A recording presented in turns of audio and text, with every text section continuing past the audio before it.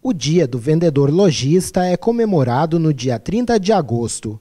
A profissão de vendas é uma das mais antigas do mundo. Vender é tão ou mais importante do que produzir ou criar produtos e serviços. Trata-se do envolvimento, domínio e a utilização de vários princípios e técnicas.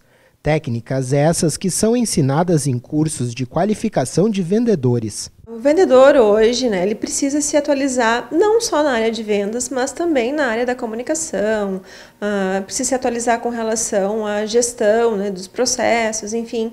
E o Senac tem alguns cursos né, que podem contribuir com isso. Tem cursos de comércio, né, a gente trabalha com excelência no atendimento, trabalha com cursos mais voltados para vendas, né, técnicas de vendas e negociação, por exemplo. Da área da comunicação, que também é muito importante, até porque lida bastante com o público, né? A gente tem dicção, desinibição e oratória.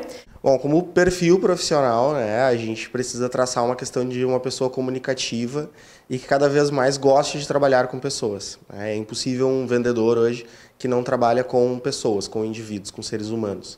E muitas vezes a gente se depara com uma questão de que, ah, foi o que apareceu aí, estava precisando de vendedor e tal, entrei, o gerente gostou de mim, eu estou aí. Né? Mas eu não tenho muito essa percepção, de fato, do que eu preciso, quais são as qualificações, onde é que eu me enquadro.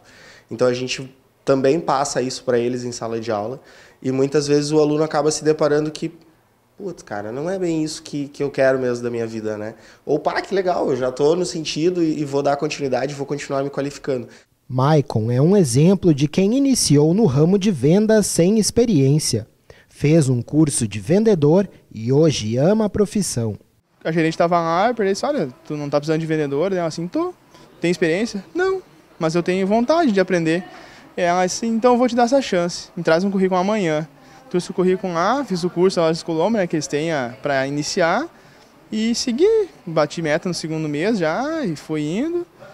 Maicon gostou tanto da profissão que utiliza o seu tempo livre para vender ainda mais.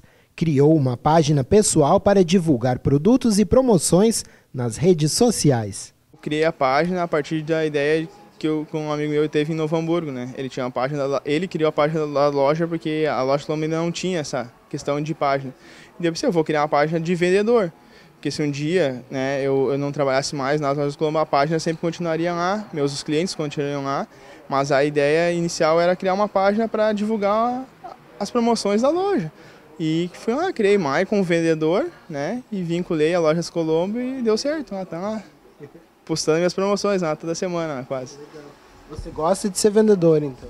Gosto, gosto dessa interatividade de pessoas, porque não, não é um serviço que tu, tu fica assim repetitivo, é sempre uma emoção diferente, né?